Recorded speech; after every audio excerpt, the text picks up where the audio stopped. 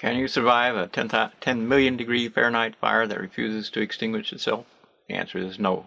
Steel is cut at 3,000 degrees Fahrenheit. Every day, the people at National Ignition Facility try to bring this fire to our world. Wrong is a dead world. Every life in it destroyed by the same fire as is on the sun. A fire that burns your skin from 91 million miles away. A fire that burns atomic bonds. A fire that is not fusion as stated to be. That would be two hydrogen atoms fused into helium. The math is for every two hydrogen atoms lost, there, there will be a helium atom present emitted from the sun to create that heat. It does not exist. Consider the quantity that then would be evident escaping from the sun of helium, because there is no helium in any real quantity that shows up on the spectrograph images of the sun. We know it is not true. Whereas only only a little hydrogen would be consistent with an ash cloud from all the atomic nucleus, nucleuses being destroyed by bonding destruction. Wrong as a dead Earth. Every day this threat exists, and at any second, at any time, that fire can be ignited at the National Ignition Facility, in which case every life on Earth lives or dies based upon the theory it will just extinguish itself. Not true. Biblical prophecy is added from Daniel. There goes the great abomination which is the single worst decision humanity can make, which would be to bring the same fire here as is on the sun.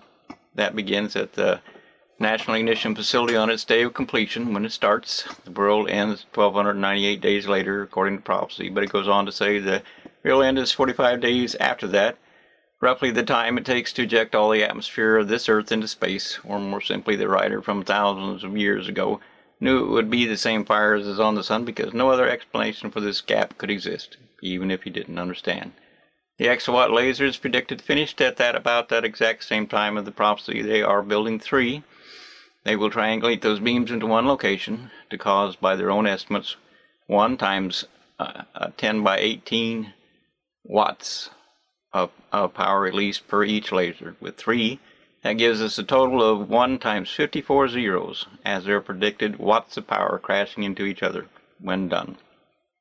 Or 3 million of the largest lightning bolts possible, all hitting the exact same spot at the exact same time. Can you survive a nat nature itself being destroyed by geneticists trying to bring evolution to this world because of their religion, which is evolution? Only adaptation is proven. That is the sign of perfect design not chaos building anything. Can you survive their being wrong with all nature on earth? Creating diseases, pandemics, and mutilation spread? A horrendous, so horrendous, too small is, is too small words. The answer is no, you can't.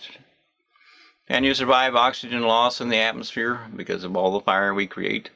Fire consumes oxygen. Seven plus billion people with cars, furnaces, cooking, and more having cut down or attacked in all ways the very parts of creation itself that make oxygen for us all to breathe?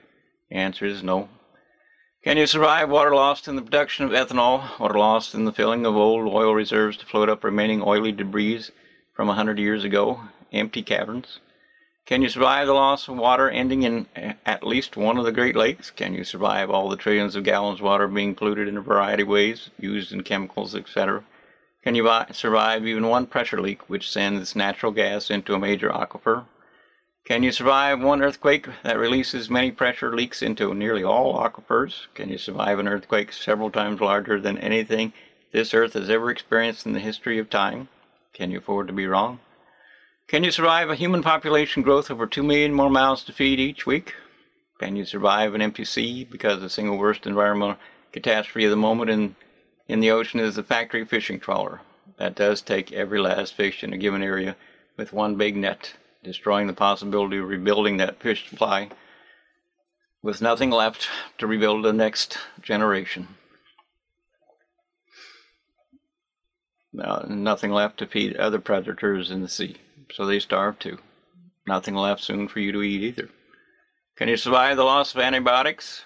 Can you survive close livestock confinement without antibiotics, one disease in that confinement, and all the livestock dies from the spread of a single infection.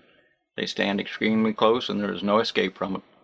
Can you survive a bloody civil war in this USA because the university leaders stole all your money, leaving America with debt of $139 trillion by the FederalReserve.gov Table L5 accounting?